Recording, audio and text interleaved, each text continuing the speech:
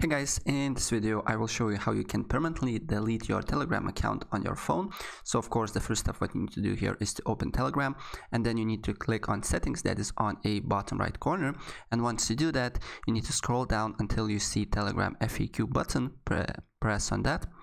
And then you need to press on three uh, little dots that is on the top right corner. And then press open in Safari if you're using iPhone. Of course and if you're using Android probably it will be Google Chrome and then uh, you will end up in a telegram FAQ then you need to scroll down until you see as you can see here your account. And on your account bar there is a option for you to delete your telegram account. Press on that.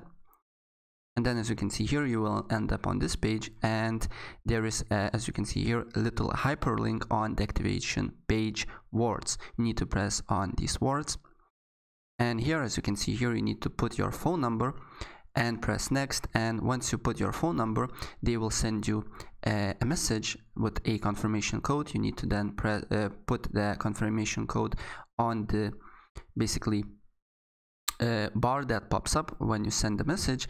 And then you will have the option to delete your telegram account. Alright so guys that's pretty much it. If i help you out please press like button and subscribe for more. Take care. Bye